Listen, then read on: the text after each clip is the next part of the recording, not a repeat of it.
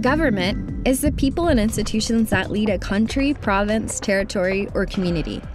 Governments manage the land, resources, and people living within its borders. Around the world, various types of government make decisions and rules for people in different ways. A dictatorship is when one person or group has total power, normally from a military takeover, and they govern through a one party system.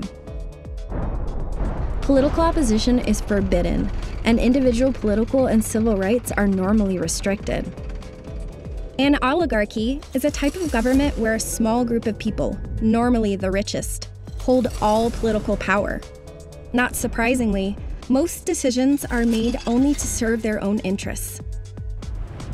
A democracy is a type of government where, ideally, a majority of the people are included in political decision making. In democratic countries, citizens elect politicians through a vote to make decisions on their behalf. Citizens are also free to run for office, and they have protected rights like freedom of speech and religion. So, where does Canada fit in? We're a parliamentary democracy. We elect representatives to our parliament and legislatures. In a parliamentary democracy, the political party with the most number of representatives in parliament forms government and its leader becomes the prime minister. And what exactly is a political party? It's a group of like minded people with a shared vision and similar values that wish to achieve power through an election. But that's not all.